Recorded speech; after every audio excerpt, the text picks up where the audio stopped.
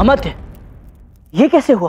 दानानंद उसने ये सब किया है चंद्रगुप्त।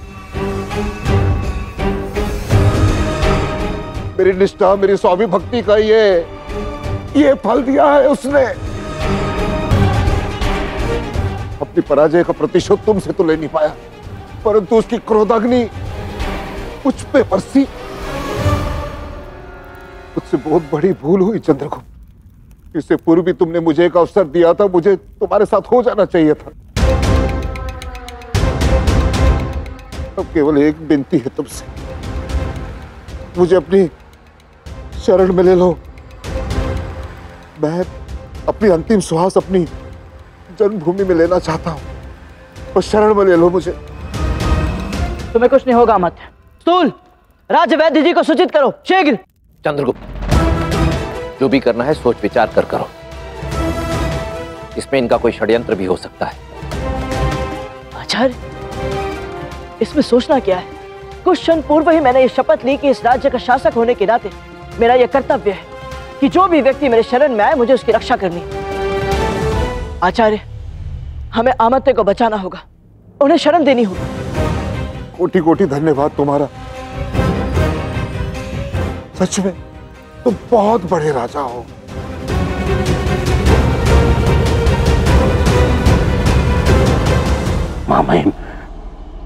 मैंने अपना पूरा जीवन आपको समर्पित किया। तो मेरी निष्ठा मेरी सेवा में ऐसी कौन सी कमी रह गई थी जो ये दंड आपने मुझे दिया? आप संसार के लिए अमात्य राक्षस हैं किंतु मेरे लिए आप मेरे महामात्य हैं। निश्चिंत रहिए। आप मरेंगे नहीं, क्योंकि जो घाव मैंने आपको दिया है, वो मरने के लिए पर्याप्त नहीं है महामात्य किंतु उस दिल चट्टे को ये विश्वास दिलाने के लिए पर्याप्त है कि मैंने आपको मारने का प्रयास किया। अब आप मगध पुनः लौटेंगे और मेरे महल में घुसकर उस दिल चट्टे का अंत करेंगे। अब आपको मेरे लिए उस चंद्रगुप्त की हत्या करनी होगी। आप उससे वो सब कुछ छीन लेंगे जो उसने मुझसे छीना है।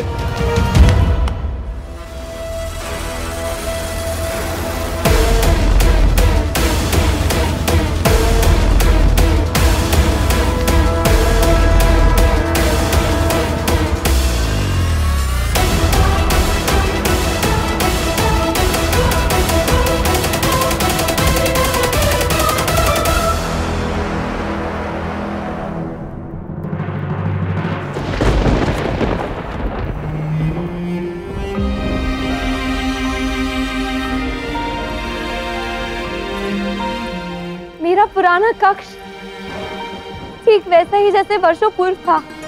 हाँ दुर्धरा ये मगध का वही कक्ष है, जहाँ से हम दोनों की यात्रा आरंभ हुई।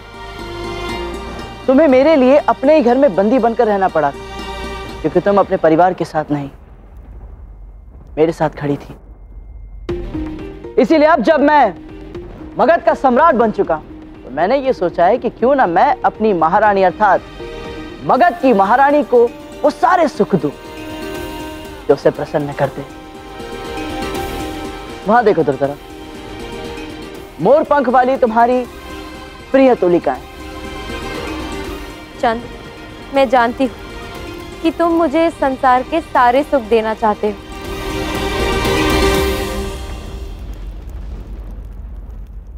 किंतु तुम्हारा साथ पाने के बाद मुझे ये समझ आया है कि जीवन की सबसे बड़ी पूंजी अपनों का प्रेम और साथ होता है। सुख सुविधाएँ नहीं। तुम यही चाहते हो ना कि मैं अपनी चित्रकारी पुनः आरंभ कर दूँ? हाँ। तो जब तक मेरा चित्र पूर्ण ना हो तुम अपनी आँखें नहीं खोलोगे ठीक है?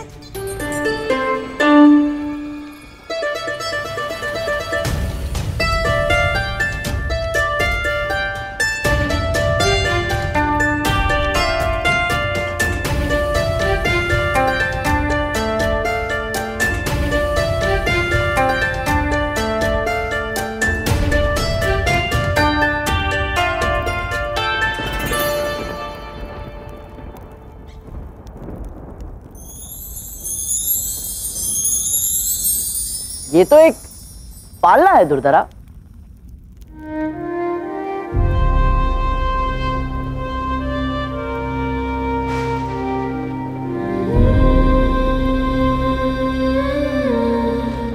अर्थात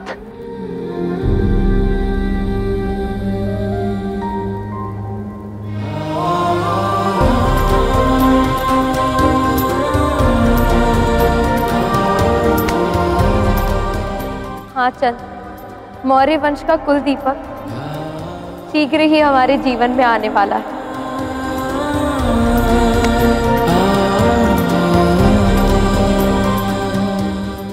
दुर्धरा तुम देखना, मैं अपने शिशु को संसार की सारी खुशियाँ दूँगा। हमारे शिशु पर किसी भी प्रकार का कष्ट या दुख स्पर्श तक नहीं कर पाएगा।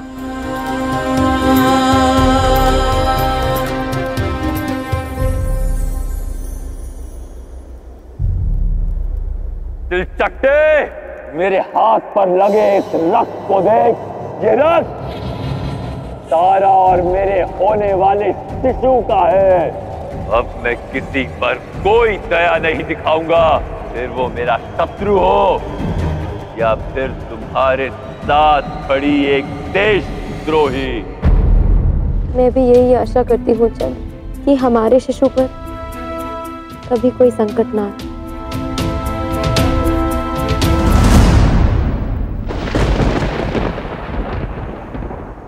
आपकी योजना सफल रही सम्राट। आमात्य ने चंद्रगुप्त के महल में प्रवेश प्राप्त कर लिया है। क्या कहा? चंद्रगुप्त का महल?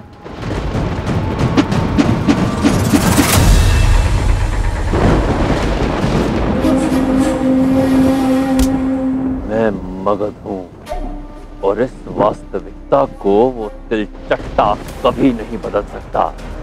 अगली बार यदि तुम्हारी वाणी से ऐसा कभी कुछ निकला कि मेरी किसी भी वस्तु पर उस चंद्रगुप्त का अधिकार है तो अभी जो कटार लक्ष्य से चूक गया था वो अगली बार ठीक अपने लक्ष्य पर लगेगा।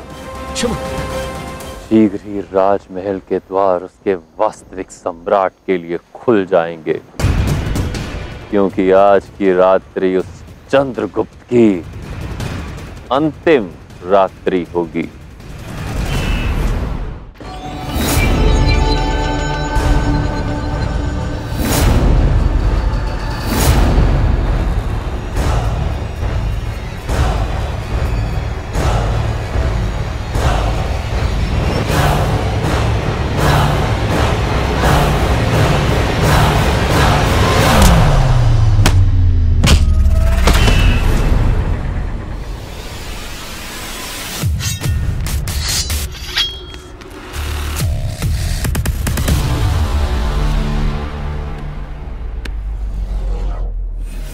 मेरे गुरु आचार्य चाणक्य ने मुझे बालपन में ही प्रशिक्षण दिया था मत एक सम्राट को नींद में भी सजग और सतर्क रहना चाहिए।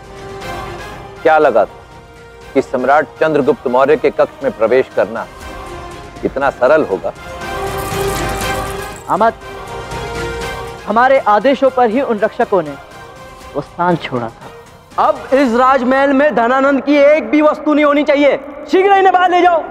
चंद्रगुप्त का इतना दुस्साहस कि उसने माँ महीम के कक्ष पर अपना आधिपत्य स्थापित कर दिया। और तुम दोनों सम्राट की सुरक्षा का दायित्व तुम दोनों पे है। तो कड़ा पहरा बनाए रखना।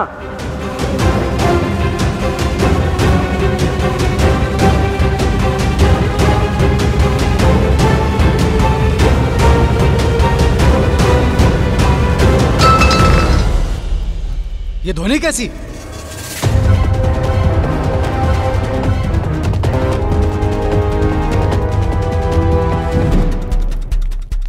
जो शरण मांगने आते हैं अमात्य राक्षस वो शस्त्र नहीं उठाते।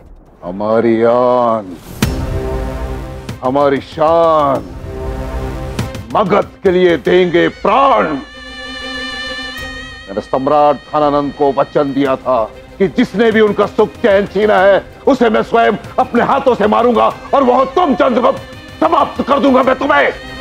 चंद्र, इस अमात्य पे अधिक दया दिखाने की कोई आवश्यकता नहीं है। आचार्य सदैव कहते हैं ना, हर दुष्कर्म का उचित दंड होता है। इससे भी इसके छल के लिए एक कठोर दंड देना होगा। मगध के भूतपूर्व आमत्य होने के नाते तुम तो ये भली भांति जानते होगे कि एक सम्राट पर आक्रमण करने का दंड क्या होता है। आशा करता हूँ कि आप अपने दंड के लिए सज्ज हो अमात्य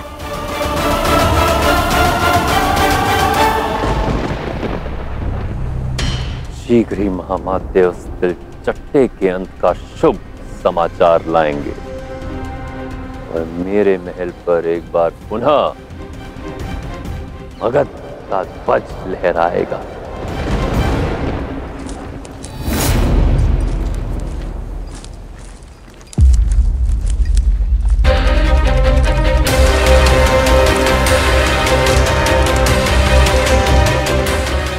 महामाते को यहाँ चंद्रगुप्त के सैनिक छोड़ने आए हैं, अर्थात महामाते अपने कार्य में विफल रहे।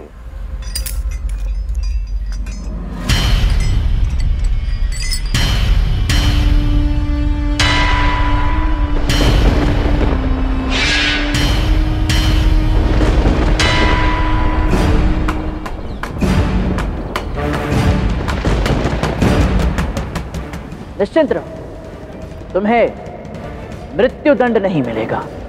तुम्हारा दंड होगा कि तुम अपने महामहिम अर्थात धनानंद के पास जाकर अपनी असफलता की गाथा सुनाओगे।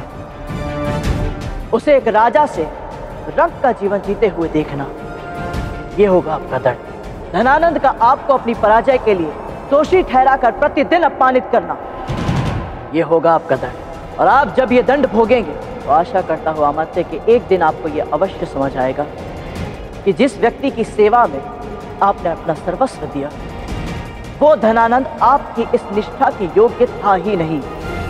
तो जिसकी हत्या करने का आदेश मैंने आपको दिया था उसी ने आपको जीवन दान देकर एक बार पुनः हम दोनों के मुख पर कालिक पोत दी।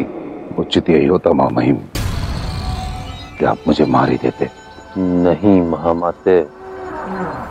हम इस प्रकार हार स्वीकार नहीं कर सकते। एक बार पुनः नापित नंद किसी क्षत्रिय से नहीं हार सकता। मैं मगध के सूर्य को चंद्रगुप्त का ग्रहण कभी नहीं लगने दूँगा। मेरा एक दाव अभी शेष है। कौन सा दाऊ माँ महिम धनानंद का अगला पड़ाव होगा सेल्यूकस। धनानंद अब उसके पास सहायता के लिए अवश्य जाएगा। और जब तक वो तुम्हें युद्ध में परास्त नहीं कर लेगा चंद्रगुप्त तब तक वो निरंतर तुम्हारी हत्या का प्रयास भी करता रहेगा। चंद्र यहाँ पे भी सुरक्षित नहीं है? नहीं। इसलिए हमें चंद्रगुप्त की सुरक्षा व्यवस्था के प्रबंध कड़े करने होंगे। कैसे प्रबंध आचार्य? आज से चंद्रगुप्त इस महल के किसी भी कक्ष में एक रात्रि से अधिक नहीं सोएगा। वो जहाँ भी सोएगा, हम चारों के अतिरिक्त और किसी को पता नहीं होगा। इससे लाभ ये होगा कि यदि शत्रु महल की सुरक्षा व्यवस्था को भेद कर महल के भीतर प्रवेश पा भी गया तो भी उसे यह नहीं पता होगा कि किस कक्ष पर आक्रमण करना है।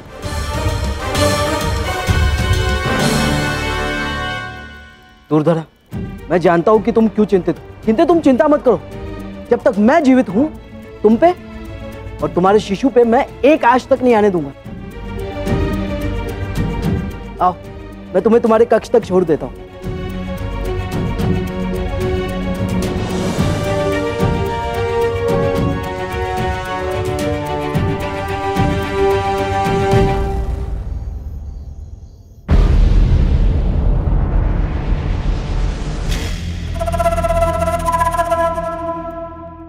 चार्ल्स लुकस, संधि के अनुसार हमारे मध्य जो समझौता हुआ था। समझौता?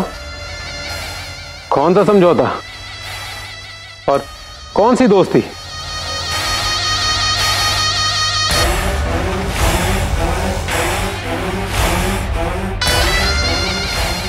मगध के जिस ताकतवर और जाबाज शाह धनानंद से हमने दोस्ती की थी, वो सिर्फ़ अब तुम्हारे लिए ही शाह है अमत्या। बाकी दुनिया के लिए तो ये एक मामूली सा नापित नंद है। तुम भूल रहे हो सल्यूकस कि इसी नापित नंद ने मगध का अदम्य साम्राज्य खड़ा किया था केवल अपने साहस और बुद्धि के बल पर। और मैं उसे पुनः खड़ा कर सकता हूँ। तुम्हारे सैनिक कई महीनों से भारत में प्रवेश करने का मार्ग ढूंढ रहे हैं, किंतु उस चंद्रगुप्त की सेना से तुम्हारी सेना बार बार पराजित हो जाती है और वो तुम्हारी सेना को भारत से खदेड़ देता है। तुम मुझे अपनी सेना दो और मैं तुम्हें अपनी योजना दूँगा। जिसके बाद तुम भारत में पुनः प्रवेश कर पाओगे, क्योंकि उस चंद्रगुप्त का सुरक्षा व्यू टूट जाएगा। आचार्य, आपकी ये खुली शिखा मुझे स्मरण कराती है। कि आपकी प्रतिज्ञा अब भी अधूरी है। और ये तब तक अधूरी रहेगी, आचार्य, जब तक वो धनानंद जीवित है। आचार्य आपको मुझे रोकना नहीं चाहिए था उसका अंत करने से। ये हम सबके लिए उचित होता। मेरी प्रतिज्ञा अवश्य पूर्ण होगी चंद्रगुप्त। धनानंद के अंत के साथ नंद वंश का समूल नाश भी होगा। परंतु धनानंद के प्राण छोड़ने के पीछे मेरा एक महत्वपूर्ण उद्देश्य था। कैसा उद्देश्य आचार्य? एक परिचित शत्रु, एक अनजान मित्र से किसी भी दिन अधिक श्रेयस्कर होता है। धनानंद और सेल्यूकस की संधि में, धनानंद हमारे लिए वही परिचित शत्रु सिद्ध होगा। मैंने तुम्हें धनानंद के प्राण लेने से केवल इसलिए रोक दिया, क्योंकि मैं जानता था कि हमसे परास्त होने के पश्चात धनानंद सीधा सेल्यूकस के पास सहायता के लिए जाएगा। अब तक हम धनानंद की हर नीति, रणनीति से भली भांति परिचित हो चुके हैं। हम भली भांति जानते हैं कि वो किस परिस्थिति में कौन सा वार करेगा। अब जब कल धनानंद और सेल्यूकस की सेनाएँ हम पर आक्रमण करेंगी तो हम उसी सूझबूझ का लाभ उठाकर धरती के भारत माता के इन दोनों शत्रुओं का अंत एक साथ कर देंगे। वैसे भी मैसेडोनिया की विशाल सेना का सामना करना इतना सरल नहीं होता, चंद्रगुप्त। विशेषकर तब जब हमें उनकी रणनीति के विषय में कुछ भी नहीं पता। समझ गया आचार्य अब हमें केवल धैर्य साधना है। और यह देखना है कि धनानंद और सेलिकस की संधि कौन सा नया रंग लाती है। तुम मुझे अपनी सेना दो और मैं तुम्हें अपनी योजना दूँगा जिसके बाद तुम भारत में पुनः प्रवेश कर पाओगे क्योंकि उस चंद्रगुप्त का सुरक्षा व्यू टूट जाएगा। इस बेशकीमती शराब को देख रहे हो धनानंद? अगर इसे थोड़ी देर तक खुला छोड़ दिया जाए तो इसकी खुशबू और इसकी खासियत दोनों ही उड़ जाते हैं। और ये बेशकीमती शराब की जगह एक मामूली सी, बेकार सी शराब बन जाती है। इस वक्त तुम्हारा हाल कुछ ऐसा ही है धनानंद जिस जाबाजी और अकलमंदी का ज़िक्र तुम कर रहे हो ना, वो माजी की बात है, जो वक्त के साथ अब धुल गई है। बल्कि यूँ कहूँ तो गायब सी हो गई है। क्या है ना, धनानंद, कि अगर तुम्हारे पास सही तरकीब होती तो वो चंद्रगुप्त तुम्हें तुम्हारी ही ज़मीन पर हराने में कामयाब नहीं हो पाता।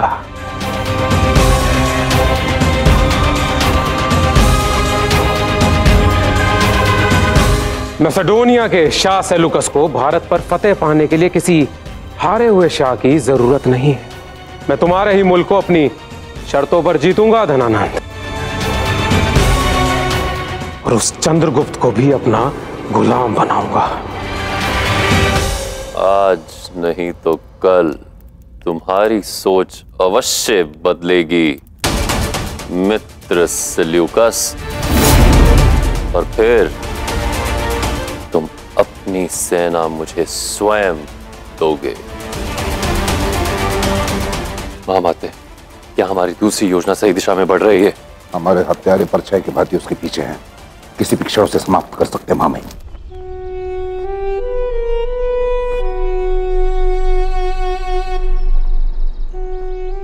मुझे वचन दो चंद्र कि तुम सम्राट बनकर रुकोगे नहीं।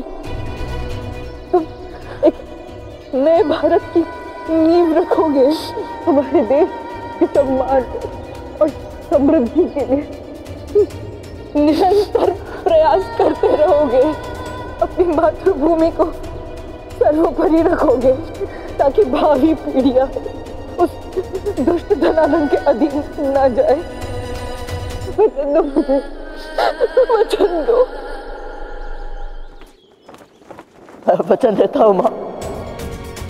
कि जब तक मेरी दमड़ियों में आपका लहू बहेगा, तब तक मैं मातृभूमि के प्रति अपने हर कर्तव्य को पूरी निष्ठा के साथ निभाऊँगा। मौर्य वंश की छत्र छाया में एक ऐसे साम्राज्य का निर्माण करूँगा, माँ, जहाँ हमारी मातृभूमि और उसकी सभी माएँ हमारी यात्राओं से मुक्त होगी। वचन है, आपके चंद्र का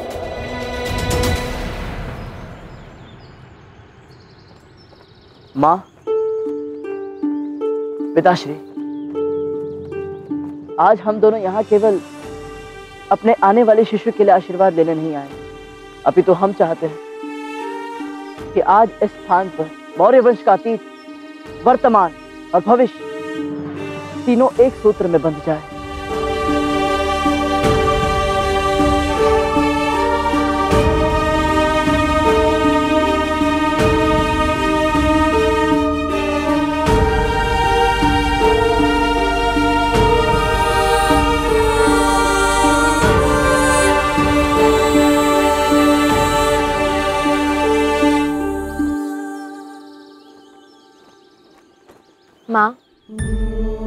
वट वृक्ष के छोटे से बीज मेरे, चंद्र और स्तूल के लिए अत्यंत महत्वपूर्ण है। क्योंकि हम जानते हैं कि ये ना केवल आपके लिए चंद्र का आशीर्वाद है, बल्कि संपूर्ण मौर्य वंश और भारतवर्ष के लिए आपका स्वर्णिम स्वप्न भी।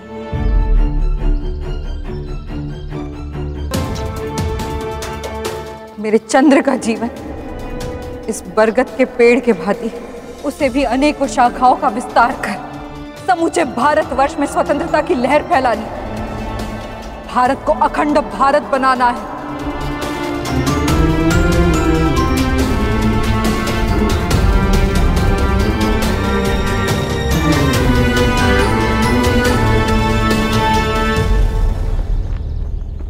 इसीलिए माँ, हम इस वट वृक्ष के बीज को आपकी और पिताश्री की समाधि के पास बोएँगे।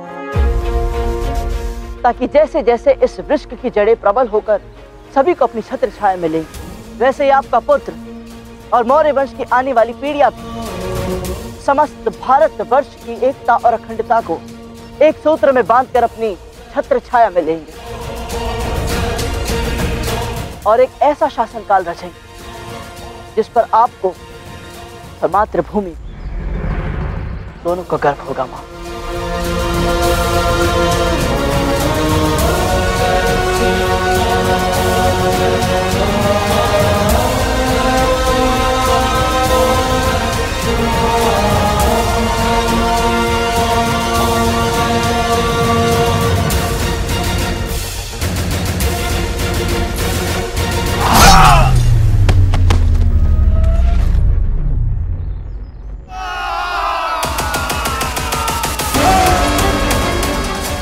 अवश्य यहाँ भाई ने भेजा है। सुन। जरा को शीघ्र महल में ले जाओ, मैं इन सबको संभालता हूँ। सैनिकों आओ।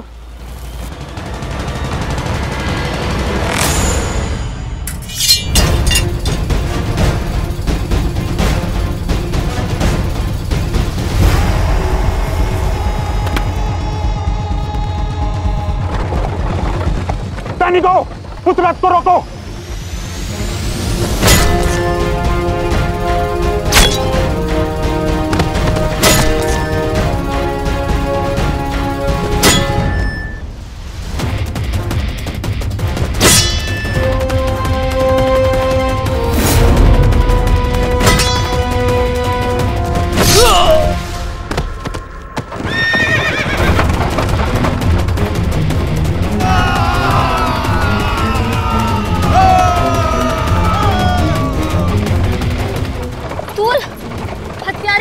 पीछे हैं। कदाचित धनानंद ने अपने सर्वश्रेष्ठ हथियारे हमें मारने के लिए भेजे। हैं। भाई मुझे मारना नहीं चाहते। पुनः अपना बंदी बनाना चाहते हैं। किंतु मैं ऐसा होने नहीं दूँगी।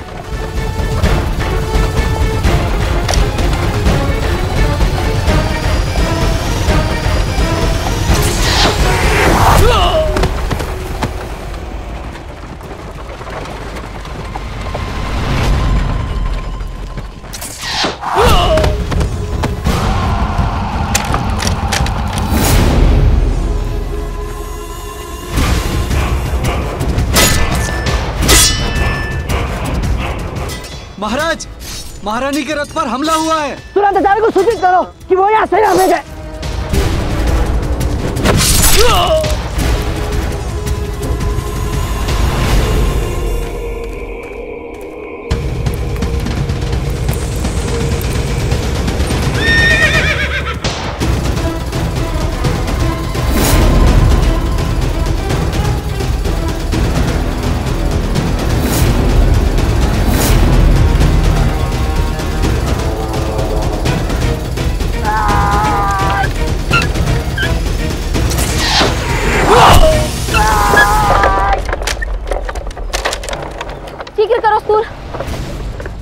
देर तक शत्रु को नहीं रोक पाऊँगी।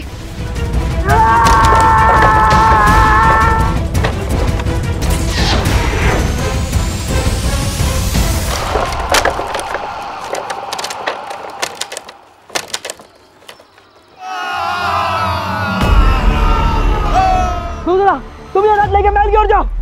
नहीं सूल मैं तुम्हें यहाँ अकेला छोड़कर नहीं जा सकती। दूसरा ये हमारा पीछा इतनी आसानी से नहीं छोड़ने वाले। तुम महल की ओर जाओ। और देना लेके आओ। तब तक मैं इन्हें यहाँ रोके रखता हूँ।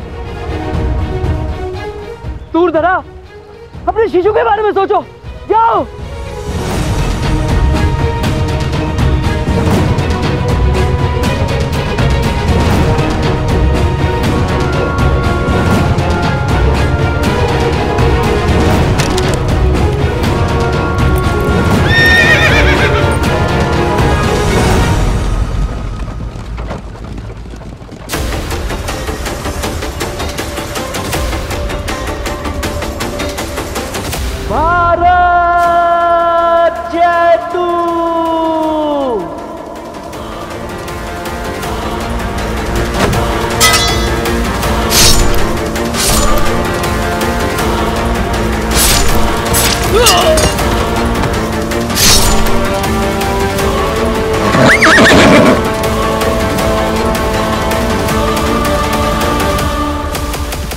आशा करता हूँ कि आचार्य शीघ्र ही सेना के साथ पहुँचेंगे। दुर्धरा तुम कुशल तो हो। आचार्य मैं तो ठीक हूँ किंतु सूल हमें शीघ्र चल के उसे बचाना होगा। मैं वहीं जा रहा हूँ तुम महल में जाओ। आचार्य मैं विनती करती हूँ आपसे मुझे अपने साथ चलने दीजिए। नहीं दुर्धरा वहाँ तुम्हारे प्राणों को संकट है।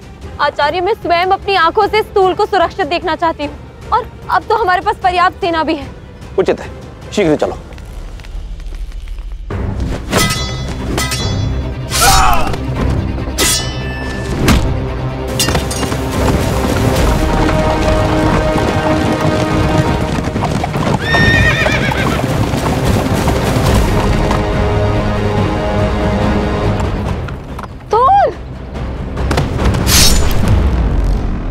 दुर्धरा, तुम कहीं नहीं जाओगी जब तक संकट टल नहीं जाता।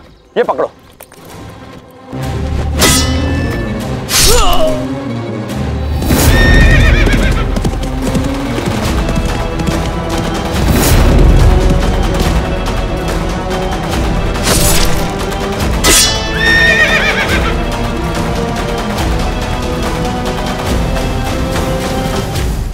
देखो, तुम सबका काल आ गया अब तुम में से कोई नहीं बचेगा।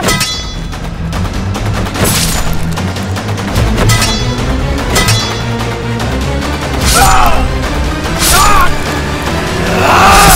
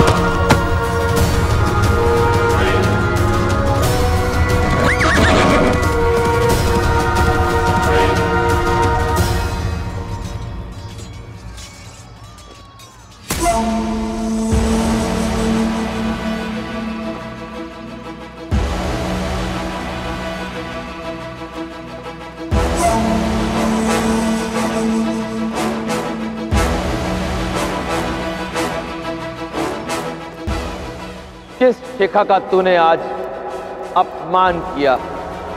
मैं उसी शिखा की शपथ लेता हूँ कि तेरे नंद वंश का सबूल नाश कर दूँगा धनानंद तुझे इस सिंहासन से उखाड़ कर यहाँ एक योग्य शासक को बिठाऊँगा। शक्ति और सत्ता की तुम्हारी इस लालसा ने तुम्हारे जीवन से सब कुछ छीन लिया है धनानंद फिर भी इसकी भूख का अंत नहीं हुआ। और एक दिन इसी लालसा में तुम्हारा भी अंत हो जाएगा।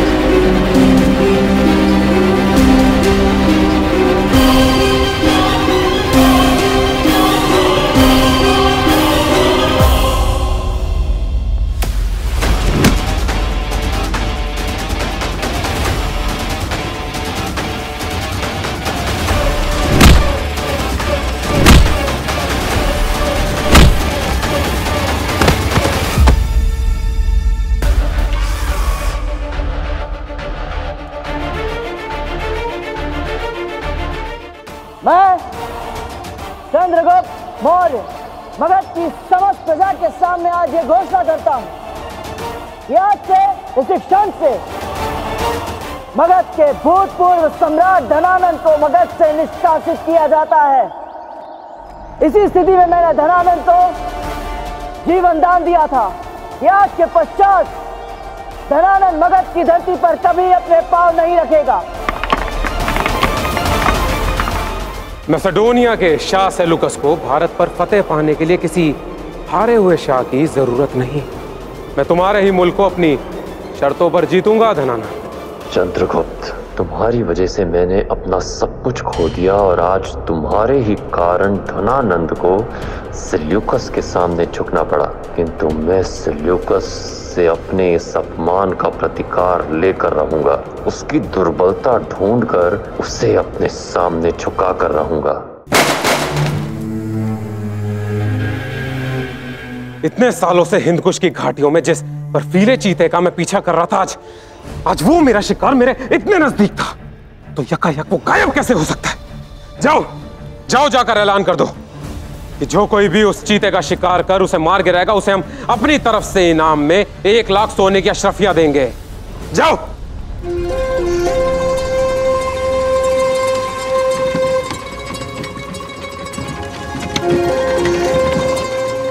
तो वो इनाम आप मुझे दे दीजिए अब्बा।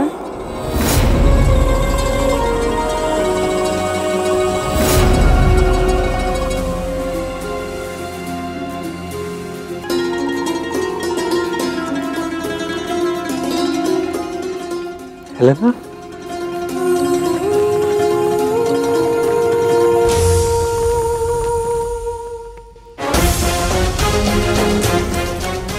हेलेना इस पूरी दुनिया में तुम एक इकलौती हो, जो शाह मैसेडोनिया को शिकस्त देने की काबिलियत रखती है।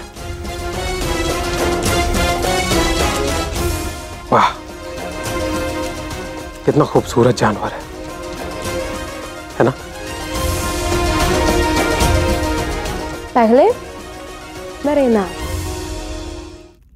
हेलेना, मेरी जान, तुम्हारे लिए एक लाख सोने की अशरफियाँ क्या?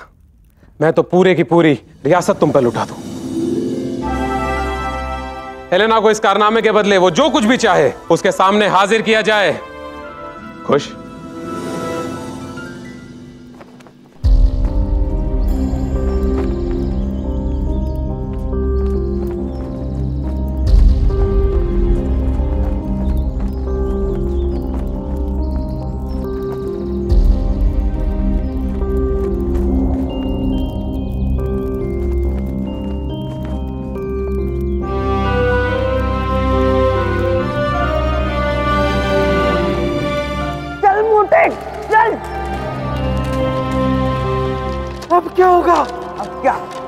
था ना तू लाख खाएगा मेरी।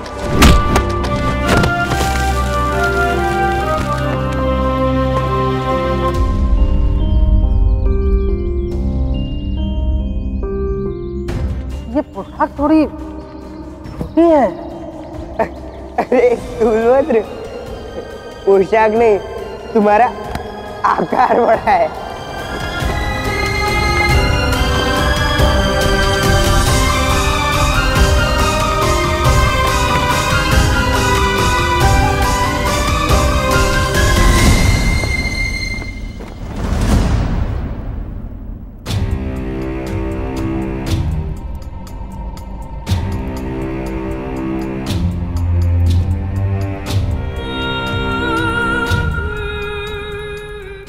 आज तुम्हारा भाई तुम्हें ये वचन देता है कि अपनी अंतिम श्वासों तक मैं तुम्हारी हर क्षण रक्षा करूँगा।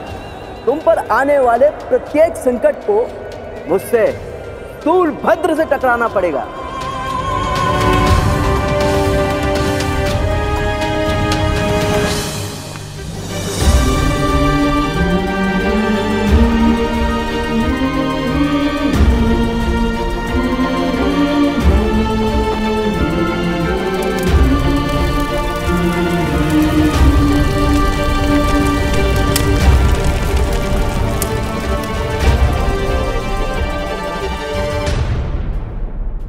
शिखर पर पहुँचते पहुँचते बहुत से लोगों का साथ छूट जाता है। चंद्रगुप्त की भी यही नियति थी। धनानंद के सत्ता के लोभ और अपना सिंहासन पुनः प्राप्त करने की लालसा के कारण चंद्रगुप्त मगध का सम्राट बनने के बाद भी अपनों को खो रहा था।